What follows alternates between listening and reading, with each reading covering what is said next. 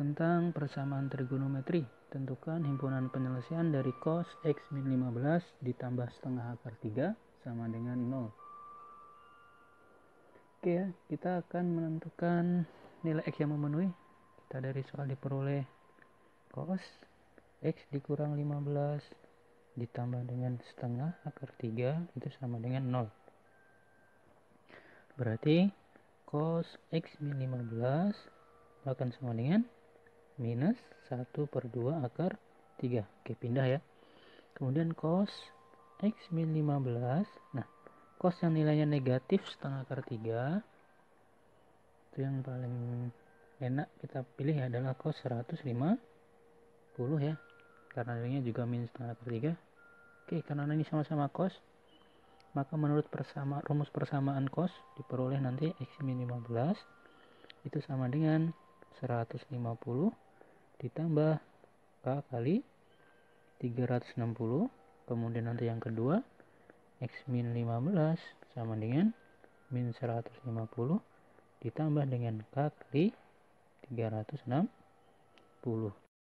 Oke untuk yang pertama K min 15 nya pindah ya jadi X nya sama dengan 150 ditambah 15 ditambah dengan K kali 360 berarti X nya sama dengan 165 ditambah K kali 360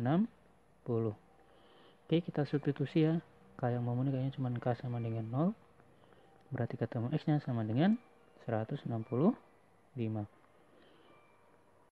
Oke kemudian untuk bentuk yang kedua ini kita sederhanakan jadi X sama dengan min 150 ditambah 15 ditambah dengan K kali 360 berarti X nya sama dengan minus 135 ditambah K kali 360 Oke untuk kasus yang kedua ini K yang memenuhi adalah 1 untuk 0 sepertinya tidak ya karena negatif. Kalau 1 maka ketemu X nya sama dengan 200 25 derajat. Ya untuk K sama dengan 2 sudah tidak memenuhi ya. Oke jadi kesimpulannya adalah himpunan penyelesaian dari persamaan tersebut adalah 165 derajat dan 225 derajat